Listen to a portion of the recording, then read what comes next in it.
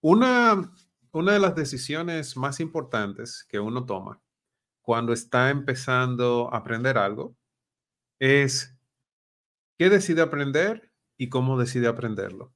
Y eh, durante el, este proceso de dedicar 30 días a aprender sobre programación, yo les he recomendado que aprendan primero un lenguaje de programación antes de empezar con un framework.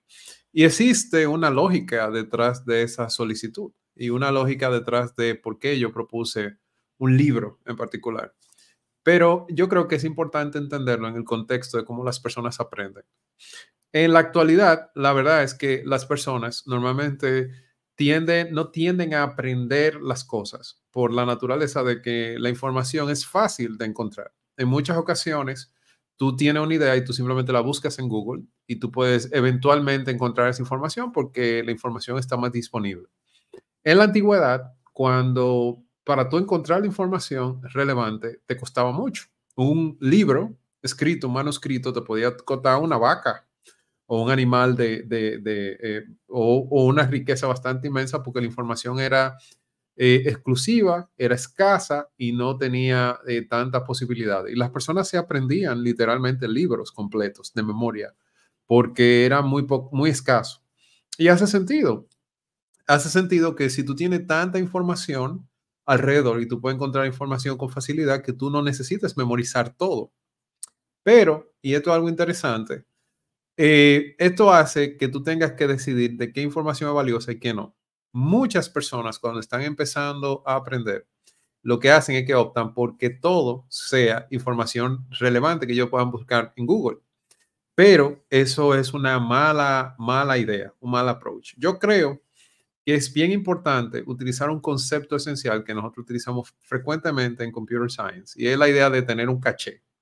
Para los que no lo saben, un caché no es nada más que un valor, normalmente un valor o puede ser un archivo o puede ser algo que es generado por el sistema. Por ejemplo, cuando tú estás trabajando con un framework web, normalmente tú tienes que pasar por varios procesos antes de entregar esa página. Por ejemplo, tienes que recibir los argumentos que que te envía, la información que te envía el explorador, tú tienes que hacer a veces una llamada a la base de datos, recopilar cierta cantidad de información y construir la página de HTML, el archivo HTML que tú devuelves.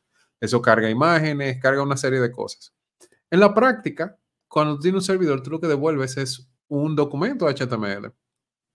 La realidad es que si tú estás sirviendo frecuentemente la misma página y la página no cambia mucho, no hace mucho sentido el que tal vez tú tengas que hacer esa llamada que puede ser costosa a la base de datos. Así que es mejor que tú tengas en algún lugar específico el archivo en HTML que tú lo sirvas cada vez que te llamen a esa ruta. Así tú no tienes que llamar a la base de datos y hacer todo el proceso. De la misma manera, eh, uno de los problemas clásicos que se da es que tú calcules un Fibonacci. Y el Fibonacci, si tú, tú tienes que hacer muchos cálculos y entonces a veces conviene mejor dejar guardados los antiguos valores para tú poder calcularlos y calcularlo una sola vez. El punto es que hay cosas donde el costo de tú continuamente estar buscando ese valor es mucho más costoso que el tú saberlos de memoria, porque tú lo usas todos los días, tú lo usas frecuentemente. Entonces, en ese sentido, es mejor que tú aprendas a profundidad un conjunto de elementos y luego todo lo demás tú lo puedes buscar. Por ejemplo, la mayoría de nosotros no necesita ser un experto en expresiones regulares. Si tú no lo sabes, tú lo aprendes en el libro que nosotros recomendamos, que es de, The Well-Grounded Rubies, para aprender Ruby. Ese es un capítulo que en lo particular yo le digo a la gente, léelo, porque es bueno que tú sepas para qué se usa, pero tú no necesitas saberlo todo, porque tú lo puedes buscar en una referencia, algo que no se usa tan frecuentemente y hay como frameworks que ya han hecho mucho de ese trabajo. Ahora, el cómo funcionan los objetos, tú todos los días vas a estar trabajando con objetos si tú eres un programador y si programas en Ruby en particular. El cómo funcionan los métodos, en cómo funcionan los containers, en cómo funcionan los strings, eso es algo que tú vas a usar todo el tiempo y por lo tanto hace sentido que tú dediques eh, tiempo a aprenderlo a profundidad. Porque aunque tú no lo sepas, tú no, aunque tú no sepas exactamente cómo funciona, te pueden atrasar y pueden alargar mucho tu productividad. Entonces, si esa información tú lo vas usar siempre, y independientemente del framework que tú utilices, si tú utilizas Ruby on Rails, tú usar Ruby. Si tú, tienes, si tú utilizas React, tú utilizas JavaScript. Si tú utilizas Django, tú utilizas Python. Si tú utilizas, qué sé yo, ASP.NET, tú utilizas C Sharp. Entonces, todo ese tipo de, de, tecnología, eh, y me disculpan con la última, yo no sé casi de la tecnología de Microsoft, así que me declaro ignorante.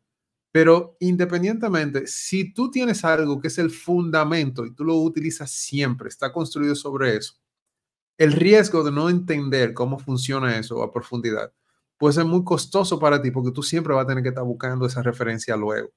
Entonces, justamente por eso, yo creo que si tú estás empezando, una de las herramientas que tú debes conocer a profundidad en la medida de lo posible es el lenguaje per se y dedicarle suficiente tiempo porque todo está construido sobre el lenguaje. Obviamente ese lenguaje tiene otras complicaciones. Por ejemplo, ahora, eh, Ruby está construido encima de otro lenguaje que C. Si tú sabes un poco de C, pues perfecto. Pero Está bien, no lo hagamos difícil. Empecemos entendiendo el lenguaje y eso te va a dar una ventaja considerable sobre las personas que empiezan entendiendo o buscando entender el framework o, el nivel más abstracto sin entender el, nivel previo.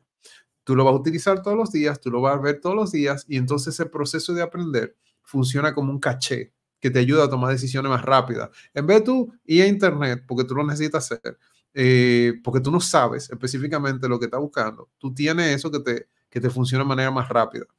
Casi todo, todo ese proceso de donde tú dices, mira, yo lo busqué en alguna parte, hace mucho, puede ser mucho más complejo si es algo que tú necesitas todos los días. Así que tal vez lo que tú necesitas es decir, mira, tú sabes que yo frecuentemente estoy buscando esto, este concepto, estoy haciendo muchas preguntas, no lo entiendo perfectamente. Tal vez el tú dedicar algo de tiempo, invertirte en ello y entenderlo a profundidad, va a tener un efecto de ahorro de tiempo en el largo plazo que con el cual tú te puedes ver sumamente beneficiado. Y yo creo que eso puede hacer una gran diferencia en tu vida, porque tú puedes decir, ok, esto yo lo uso frecuentemente, me va a ser útil siempre, o es algo que yo voy a utilizar de manera no tan frecuente. Y eso va a cambiar alrededor de tu vida. Tú sabes, un momento donde tú vas a pasar mucho tiempo trabajando con la base de datos. Bueno, es un buen momento para aprender a profundidad base de datos. Va un momento donde tú vas a tener que pasar mucho tiempo en el frontend. Bueno, es un buen momento para tú profundizar en, en temas relacionados con frontend. Cada una de, esos, de esas situaciones son grandes oportunidades para que tú profundices y te ahorre tiempo durante mucho tiempo, eh, durante una eh, frecuencia considerable porque le dedicaste tiempo a aprender algo que tú necesitas usar frecuentemente y que debería estar en tu memoria de trabajo y no necesariamente guardado en otro lugar para tú ir a buscar a ver si aprecia, si, si lo aprendes.